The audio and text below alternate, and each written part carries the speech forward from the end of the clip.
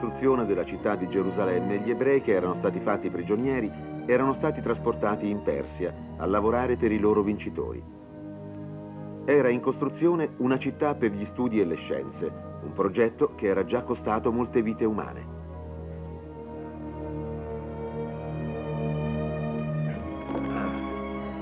Avanti, muoversi, muoversi!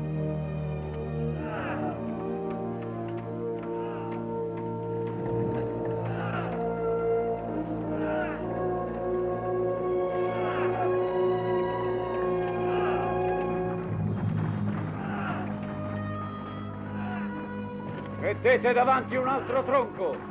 Forza laggiù, forza! Gli ebrei avevano riposto la loro fiducia e ogni speranza in Daniele, un uomo benedetto dalla saggezza divina.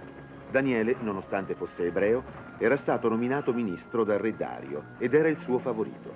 Questo gli procurava molta invidia da parte degli altri ministri e principi. Torno subito, devo avvertire Baruch. All'orecchio di Daniele erano giunte voci che accusavano principi e ministri di corruzione e di maltrattamenti nei confronti del suo popolo. Ora, nonostante le obiezioni degli altri ministri, era venuto a constatare di persona. Allora, saggio Daniele, vedi forse gente affamata? Sorveglianti crudeli? Stiamo forse utilizzando materiali scadenti? Chiacchiere, calunnie tendenziose, come puoi vedere tu stesso. False accuse inventate da gente ambiziosa che ha interesse a complottare. L'ambizione, una strana qualità dell'uomo. Può essere costruttiva, ma anche distruttiva.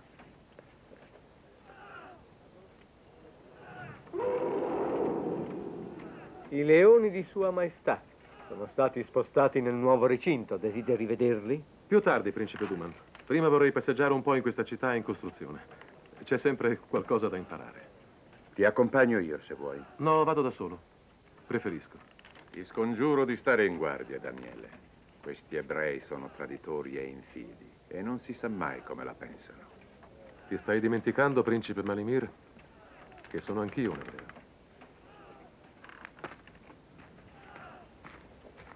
Padrone Baruch, i signori ministri del re sono arrivati con la splendida carrozza del principe Malimir. Il primo ministro Daniele è con loro? Sì, signore. Bravo. Bravo.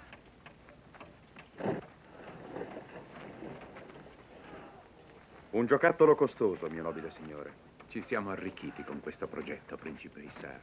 Ma ti dirò una cosa. Non esiterei a darlo a chiunque mi liberasse del peso che ho sullo stomaco. Se Daniele scopre quello che abbiamo fatto, il re non avrà pietà di noi. Avresti dovuto tirarlo dalla nostra parte, Issar. Avresti dovuto comprarlo. Non essere stupido, Duman. Daniele non si lascia né comprare né costringere. È per questo che Redario si fida di lui. E per questo lo ha fatto primo ministro invece di scegliere fra di noi che siamo i veri principi dell'impero. Allora sarà bene che il tuo piano funzioni, Issar. Perché se non riusciamo a rovinare Daniele, sarà lui che rovinerà noi. Daniele ha una sola debolezza, il suo Dio ebreo che adora. E il nostro caro Redario ne ha una anche lui, la sua vanità.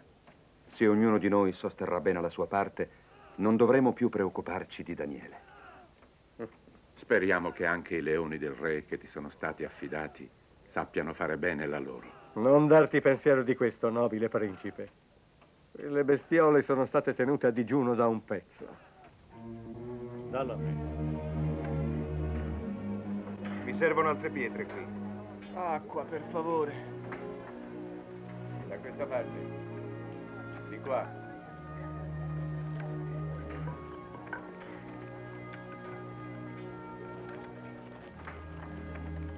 Giovanna, cosa ci fai tu qui con le portatrici d'acqua invece di far lezione ai bambini?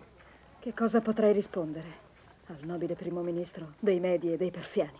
Non devi biasimarmi, Giovanna, perché io servo Dio nell'alta carica che mi è stata conferita. Sono sempre e soprattutto un ebreo. Quanti bambini ebrei vedi morire di fame nel palazzo di Re Dario? Non posso risponderti, Giovanna. Farò quello che posso. Certo. Lo sappiamo che il nobile Daniele prega tre volte al giorno. Ma per che cosa preghi, Daniele? Spesso io chiedo a Dio di liberarci dalla schiavitù, ma talvolta gli chiedo anche cose più semplici, come la comprensione e la pazienza. Giovanna, Giovanna, acqua. Perdonami, o oh potente Daniele. Devo andare a prendere l'acqua per i nostri uomini assetati, prima che i padroni ci tolgano anche quella.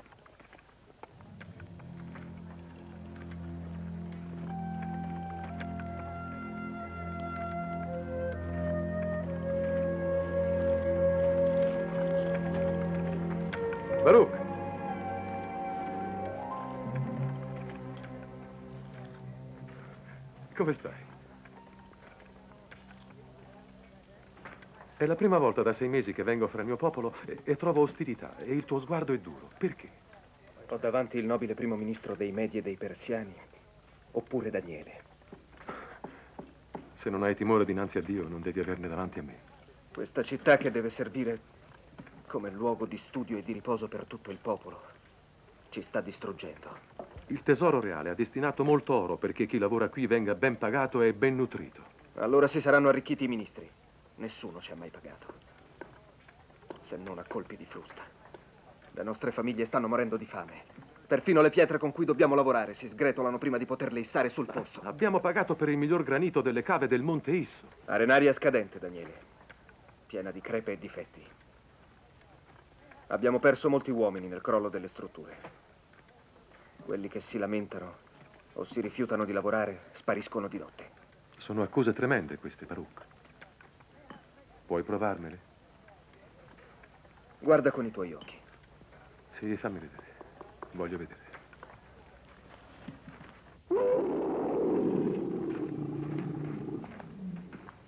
Attento, stai indietro. Non sono stati nutriti da tre giorni secondo i tuoi ordini, principe Isar. Belli, così feroci. Ma la morte nella fossa dei leoni è riservata ai traditori. Il re ama Daniele come un fratello, come puoi pensare che lo condanni per tradimento? Dario non avrà scelta quando avrà sottoscritto il mio decreto. Hai ragione. Daniele deve essere tolto di mezzo subito. Ma questo piano è davvero pieno di rischi per tutti noi. Già, la vecchia legge della prova alla pari. Siete proprio due stupidi. Preferite che Daniele riveli al re quello che abbiamo fatto qui? Preferite perdere la testa? Quale uomo potrebbe sopravvivere per 12 ore in una fossa con quelle bestie feroci? Mm?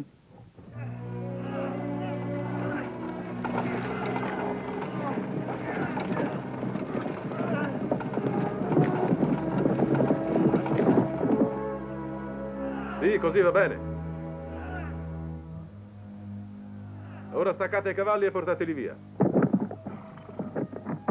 Ma cosa fanno alla mia carrozza?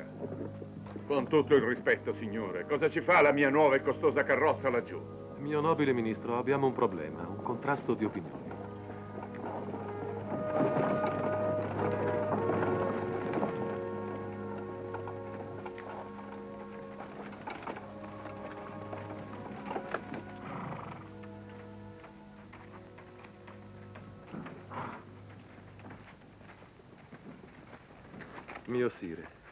Caro amico Daniele. Come procede la costruzione della città? questa, mio nobile Dario, è una domanda alla quale non posso per ora rispondere. Ho capito. Deve esserci un problema.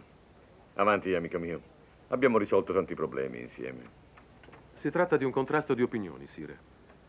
I muratori ebrei sostengono che la pietra che è stata loro fornita è di qualità scadente e pensano che quella colonna non sosterrà il peso della pietra di coronamento. Temono per la loro vita, Sire. Mille volte perdono, nobile signore. Ma il tuo ministro Daniele ha ritenuto opportuno mettere la mia preziosa carrozza laggiù. Gli uomini capicantiere del nobile Malimir dicono che gli operai ebrei sono scansafatiche e che vanno frustati. Che soluzione proponi, Daniele? Gli operai sono disposti a issare la pietra, rischiando la propria vita, se il nobile Malimir è disposto a rischiare la sua preziosa carrozza. Ma è inaudito, maestà. Decisamente il primo ministro esagera. No, no, non lo credo. Daniele è conosciuto per la sua giustizia e per la sua onestà. Questa colonna è salda oppure no? Certo, maestà, ma questi ebrei preferiscono lamentarsi invece di lavorare. Non dovrebbero esserci obiezioni se applichiamo la legge persiana della prova alla pari. Entrambe le parti rischiano di perdere una cosa preziosa. Quel che è giusto è giusto, maestà. Ma certamente la mia carrozza vale molto di più di una dozzina di ebrei. Procedete pure.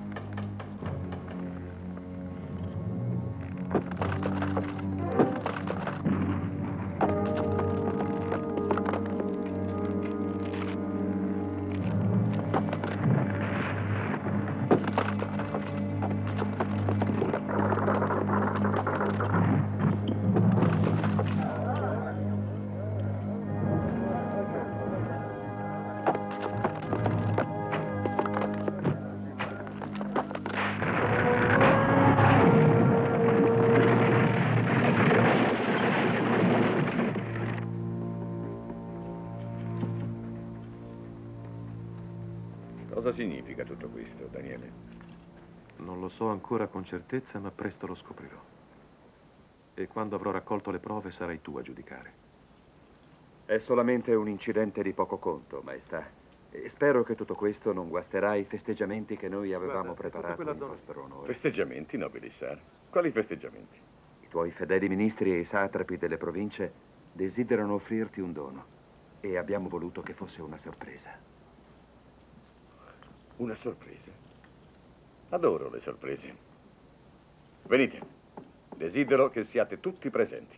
Vogliamo andare? Sire, ti chiedo il permesso di proseguire la mia ispezione. Vorrei salire al campo degli ebrei. Mi dispiace molto, Daniele. Tu sai bene che Daniele è il tuo servo più devoto. Se lui ritiene di dover andare, deve trattarsi di cosa molto importante. Bene, hai il mio permesso, Daniele. Andiamo, miei signori. Sono ansioso di vedere questa sorpresa.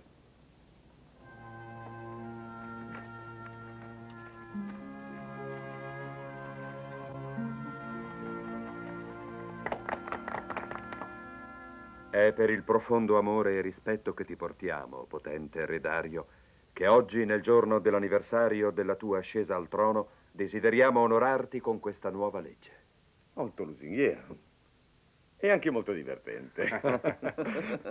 Facci la grazia di accettare. Di questo noi tutti ti preghiamo. Se ti degnerai di accettare, Signore, il mondo intero saprà quanto noi, i tuoi principi, i tuoi ministri, i tuoi satrapi, ti onoriamo sopra ogni cosa, per tutti i tempi. Bene, leggimi questa nuova legge, Issar. Da questo momento in poi, per 30 giorni, nessun uomo, donna o bambino pregherà o adorerà altro Dio o re all'infuori di Dario, per 30 giorni sotto pena di alto tradimento. Questa sarà la legge decima dell'impero e non potrà essere revocata. Noi, principi e satrapi dell'impero, ti chiediamo di approvarla, che sia incisa sui muri delle piazze di ogni città e villaggio dell'impero, così che tutto il mondo conosca la grandezza di Dario, re dei Medi e dei Persiani. Così deve essere, così deve essere.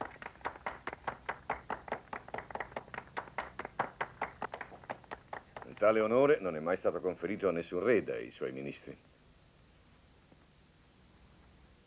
Ma questa legge farebbe di me un dio. Solo per 30 giorni, gloriosa maestà. Ora ti preghiamo, ti scongiuriamo, firmane la ratifica.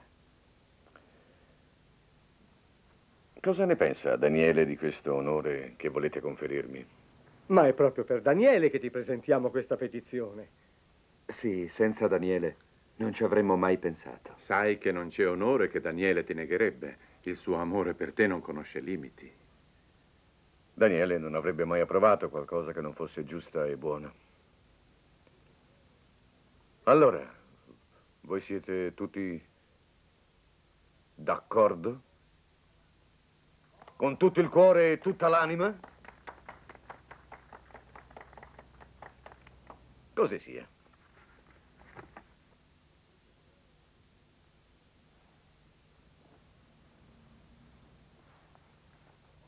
Divina Maestà, posso avere il permesso di portare subito la nuova legge agli scribi affinché sia proclamata immediatamente?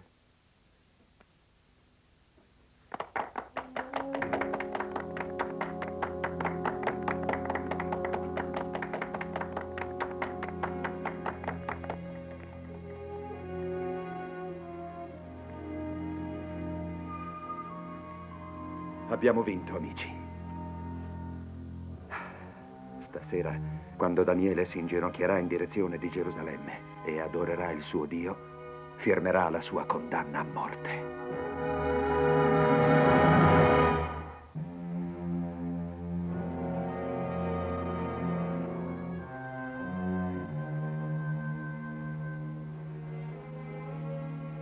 Allora, è tutto pronto? I testimoni? Dove sono i tuoi soldati, Malimir? Si nascondono aspettando il segnale. Venti paia di occhi lo vedranno leggere il proclama che ho fatto affiggere. Venti paia di orecchie lo udranno infrangere la legge. Vorrei che fosse già finita. Qualcosa potrebbe non andare. Che cosa potrebbe non andare? Tre volte al giorno, tutti i giorni, Daniele si mette alla finestra e prega il suo Dio. Ma supponi che venuto a conoscenza della nuova legge decida di rispettarla evitando di pregare. Sappiamo tutti benissimo che Daniele non anteporrebbe mai una legge umana a quella del suo Dio ebreo. È vero, è vero. E lo trovo anche molto divertente. Proprio il Dio che adora sarà la causa della sua morte. Guardate, arriva, non facciamoci vedere.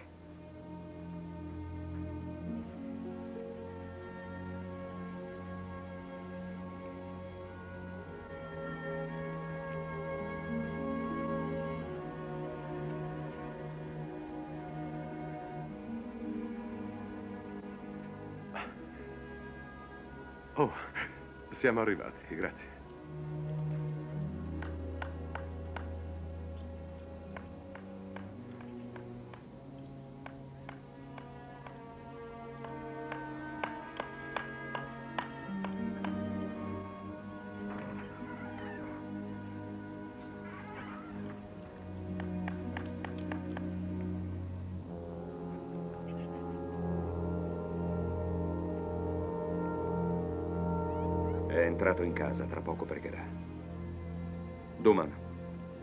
Fa prendere posizione ai testimoni. Malimir, vieni a vedere la volpe che cade nella rete.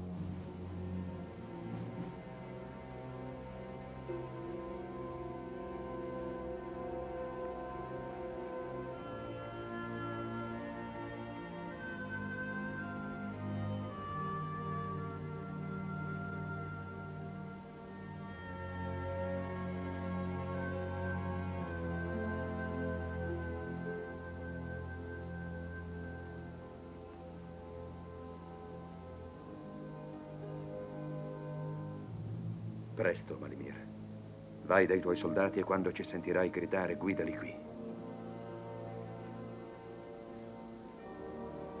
Oh Signore, ascoltami. Oh Signore, perdonami. Oh Signore, prestami aiuto. Ti scongiuro, Signore. Tu che sei la fonte di ogni rettitudine e la sorgente della misericordia e del perdono, ascolta le preghiere dei tuoi figli.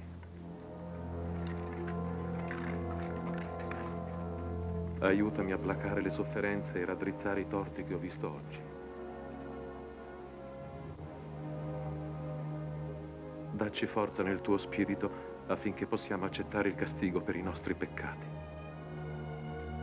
Ma dacci la speranza, o oh Signore, che un giorno il gioco della schiavitù sarà sollevato dalle nostre spalle.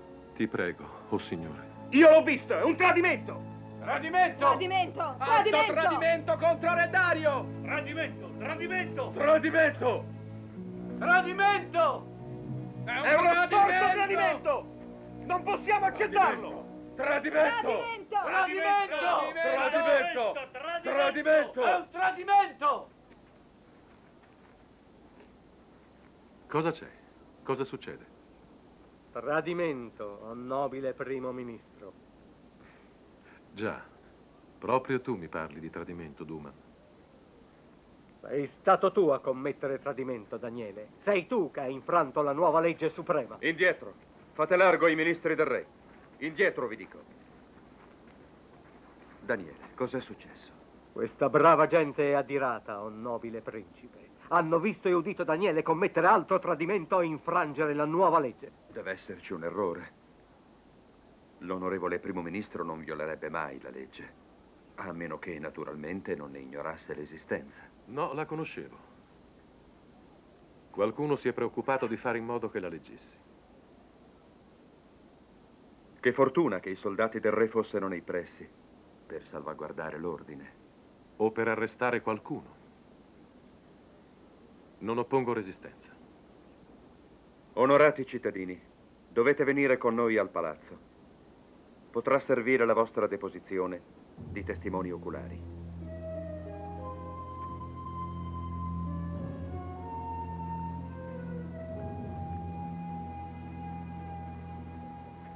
E così, onoratissimo sovrano, tutti i testi sono stati uditi e la loro deposizione è stata scritta. È stato provato, come lo stesso Daniele ammette e conferma del resto, che egli ha pregato e adorato il suo Dio ebreo, in aperto spregio e violazione di una legge sacra. Legge sacra? Quello stupido e pazzesco proclama che mi avete indotto a firmare? Ma, gloriosa maestà, apponendovi il tuo sigillo ne hai fatto una legge suprema e quindi una legge sacra. E allora io abrogo quella legge iniqua. Neanche un re può abrogare una legge suprema. È una cosa nota. Come lo è il fatto che io prego tre volte al giorno, tutti i giorni dell'anno. Ammette di aver pregato un altro Dio, è tradimento. Alto tradimento, che la pena sia commisurata alla colpa. Mi avete ingannato facendomi firmare quella legge, ma non la userete per uccidere il mio amico più sincero e l'uomo più onesto del regno. Non siamo tutti vincolati dalle stesse leggi, maestà? Quelle leggi che ti fanno nostro re e ti conservano tale? Le stesse che ci offrono la giustizia della prova alla pari? Non farò gettare Daniele nella fossa dei leoni, nemmeno per un'ora.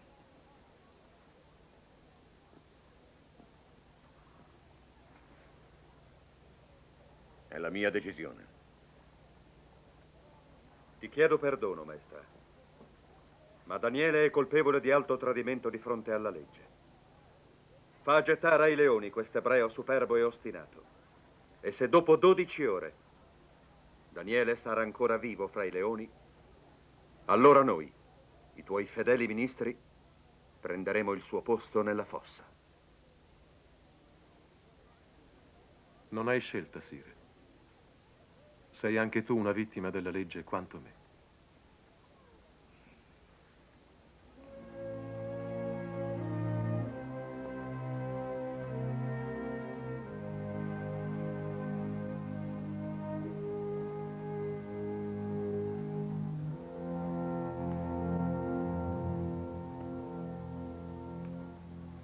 Daniele, io che avrei fatto qualsiasi cosa per salvarti, ti ho perduto per la mia vanità.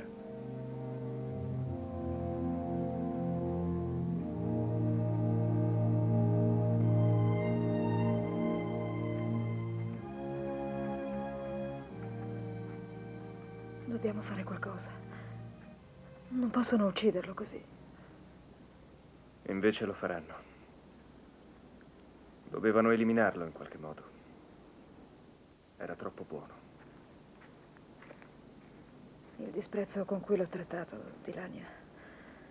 dilania la mia anima. Credevo che pensasse solo a se stesso e a servire i suoi padroni. Che posso fare, Baruch?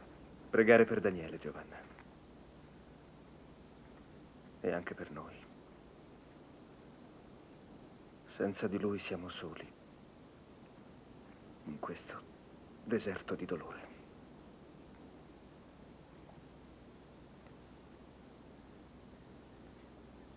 Issar, principe Issar, vieni fuori, presto!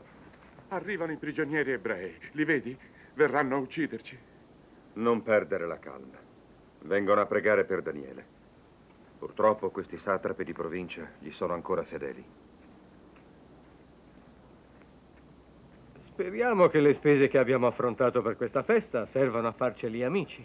Spese, hai parlato di spese. Ci è costato molto questa festa. Mio piccolo e grasso principe, non posso fare a meno di chiedermi se tu sei più avaro o più vigliacco.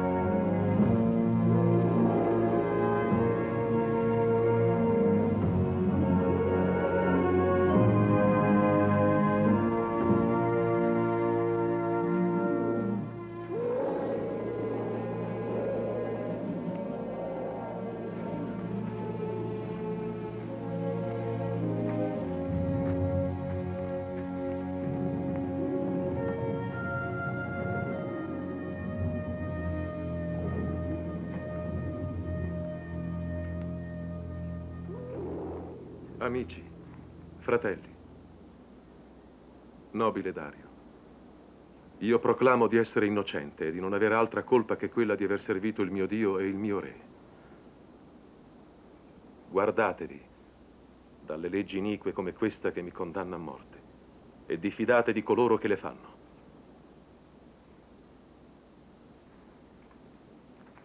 Fratelli ebrei, pregate per me.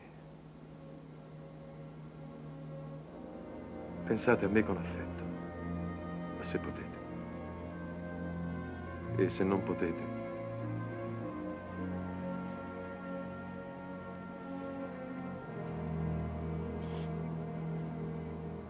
perdonatemi.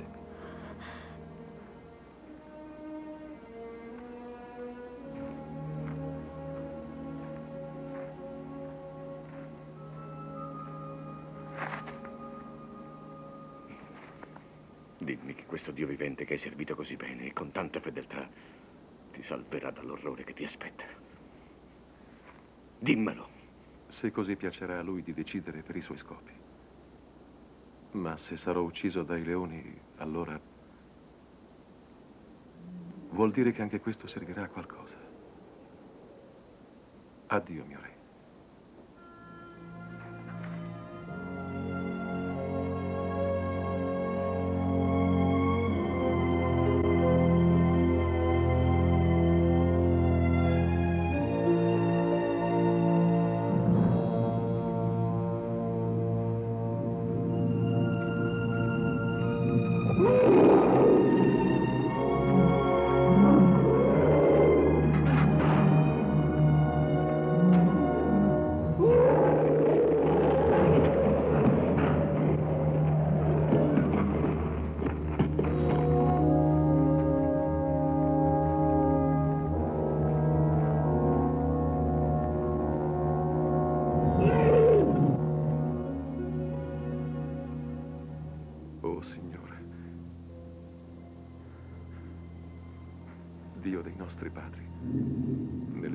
Affido la mia vita e la mia anima.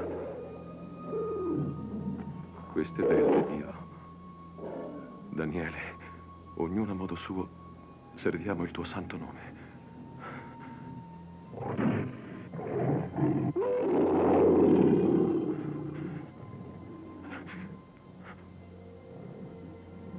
Maestà, abbiamo vino di Lidia, carne arrosto e musica. Onoraci della tua presenza.